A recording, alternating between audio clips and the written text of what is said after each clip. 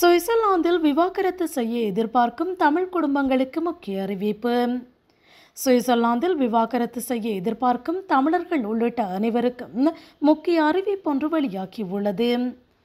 சுவிட்சர்லாந்தில் குழந்தைகளுடன் விவாகரத்து பெற்ற பெற்றோரை பாதிக்கும் வரி ஒழுங்கின்மையினை ஜெனீபா சரி செய்துள்ளதாக அறிவிக்கப்பட்டுள்ளது.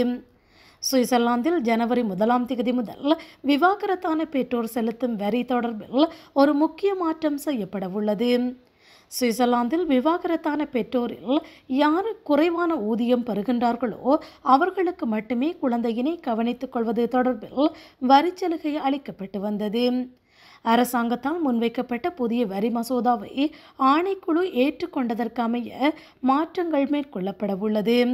அதாவது இனி குழந்தைகளை கவனித்துக் கொள்ளும் இரண்டு பெற்றோர்களுக்குமே ஒரே அளவிலான வரியே விதிக்கப்படும். நிதியமைச்சரான நதாலியே ஃபாண்டனெட் இந்த முடிவை வரவேற்றுள்ளார். இந்த மாற்றம் விவாகரத்தை எதிர்கொள்ளும் பெற்றோருக்கிடையான ஒப்பந்தத்தை மேம்படுத்தும் என்று அவர் கூறியுள்ளார். மேலும் இது விவாகரத்து செய்வோரின் எண்ணத்தை மாற்றும் என்று எதிர்பார்க்கப்படுவதாகவும் செய்திகள் வெளியாகியுள்ளது இரண்டாயிரத்தி இருபத்தி நான்காம் ஆண்டு ஜனவரி முதலாம் தேதி முதல் இந்த திட்டத்தில் ஒரு மாற்றம் செய்யப்பட உள்ளது.